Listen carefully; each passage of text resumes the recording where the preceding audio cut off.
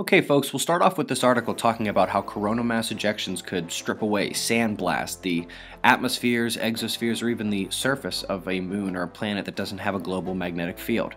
How very interesting considering some of the things they've been telling us about over the last few weeks.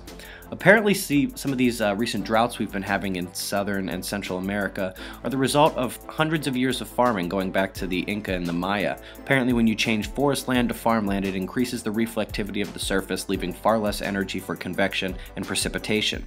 The Phobos-Grunt is dead in the water. It is coming back down to Earth. They aren't even trying to revive this thing anymore. It's not going to Mars, it's coming back down, and they're thinking that's going to happen January 13th. Folks in Australia are having a rough go of it these last couple of days, especially on the western side. The flooding is getting pretty bad, and a lot of the uh, the coastal waterways and inlands are being inundated by blue-green algae. You might remember the last couple of days we've been talking about solar active region 11363 saying it wasn't as big a threat as most people thought.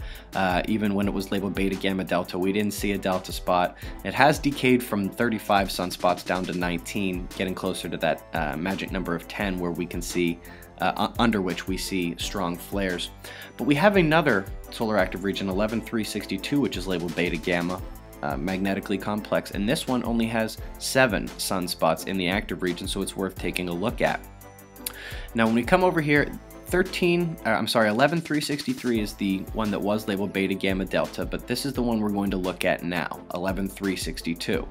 Now remember, this one has um, beta gamma classification. If you look on the left where we have both positive and negative black and white, you see uh, it's not just one side and the other side. You got white on both sides, so this is somewhat magnetically complex. And if you look over there on the right, see not a lot of sunspots, not a lot of holes of strong magnetism, not a lot of places to reconnect uh, if this thing becomes unstable.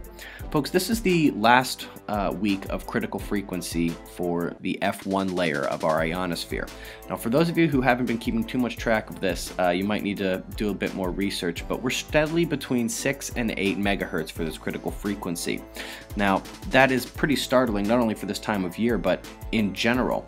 This is the critical frequencies of the F1 layer going all the way back to 1999. It's pretty much, um, pretty much has done this as far as they can tell throughout history. And what's happening now is is very strange. I actually don't even have uh, the latest one on here, and it's pretty much right up there with this uh, these anomalous readings here at the end. Uh, so that's something to keep an eye on as we go forward, the F layer of our ionosphere. Last but not least, folks, on the induction magnetometer, we might have seen a bit of uh, little asymmetric PC1 pulsations that indicate the magnetosphere might be trying to repair itself after that uh, strong solar wind stream from the corona hole uh, this past weekend. So that's the news, folks. Be safe.